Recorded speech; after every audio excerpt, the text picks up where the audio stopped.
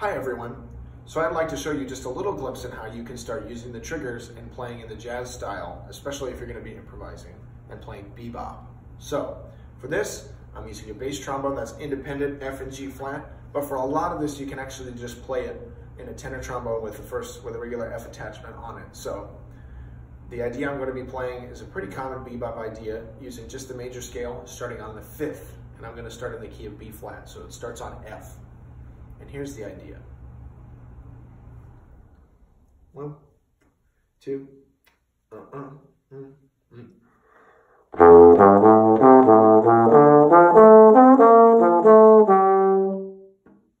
So for that idea, I'm playing F below the staff in first position with the first trigger down and C in the staff with first position and the first trigger down as well. But one thing you're going to want to check for sure is the intonation on those two notes because the intonation can differ drastically depending on your instrument. See, for you bass trombone players, though, they use an independent valve. I like to play F and C both in second position with the second valve down. And the reason why I do that is because in a lot of situations, you're going to be required to um, adjust your pitch either up or down. And if you're playing in first position with the first trigger down, you don't have a lot of real estate that you can actually move up.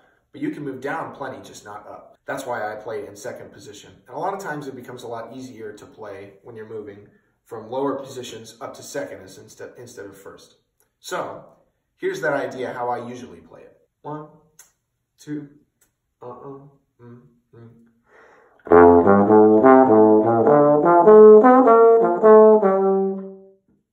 Let's think about taking this idea down one additional half step.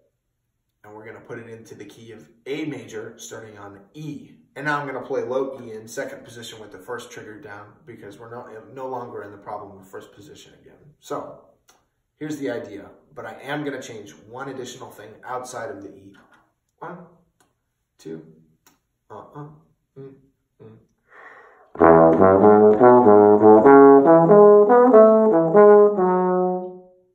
Noticed on the major third in this key, which is C sharp, I was playing it with the second trigger down in first position. And the reason why I'm doing that is because it makes a lot less slide movement happen when you're doing that.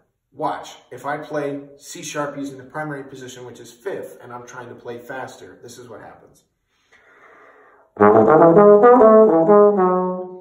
It's a lot of slide motion. Now, when you play it in first with the second trigger down, you suddenly, you're just going three, two, one, two, three.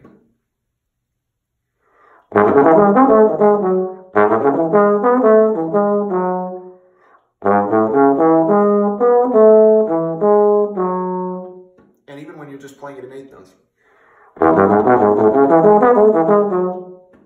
It's a lot easier all of a sudden to be able to move those positions. Now, let's think about taking it down. One more half step into the key of A flat, starting on E flat.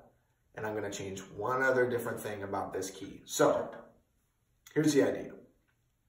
One, two, on one, two, three.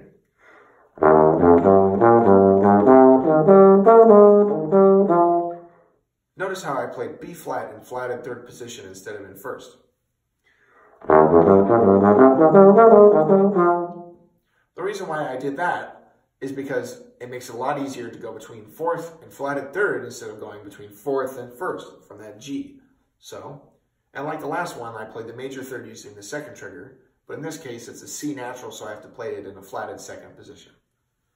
And one more thing I want to do is jazz is all about rhythm, so I think that we should take these ideas and add a little bit of rhythm to them. I'm going to take this and turn it into a cool little triplet rhythm. One, two, uh-uh, mm, mm, mm. See